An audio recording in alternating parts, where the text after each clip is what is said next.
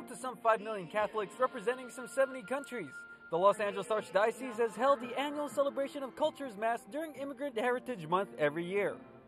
For Filipinos, it's a chance to share the altar with other cultures. Um, it's been an amazing experience, especially with our faith and um, our culture intertwined. This Mass is important because it shows that despite all the craziness in the world, we can still unite. Despite our differences, um, we can still come together and, you know, because of our faith.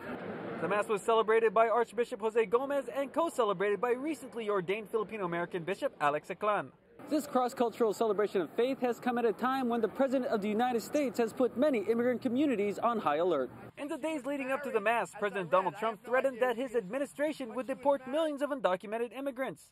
He did eventually backtrack on it, saying the deportations would be delayed. This is a country of immigrants, and it's, it's, it's, it works when we have a, an immigration law that welcomes people. So I think that's what we are. We have to pray for and as I said during the celebration of Mass, our mission is to bring that sense of unity to this country. For the recently installed Bishop Aclan, whose pastoral region includes the San Fernando Valley, where several Filipinos have been deported under the Trump administration, he believes this is a call to action for the faithful.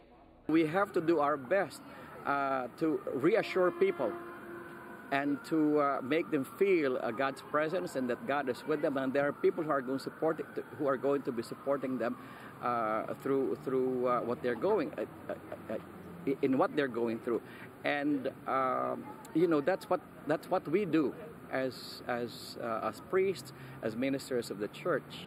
In the last several years, while church leaders have been vocal about immigration reform, churches in the area have been giving aid to families affected by immigration issues. One of the ways the LA Archdiocese stays committed to serve its very diverse parishioners. Steve Angeles, ABS-CBN News, Los Angeles.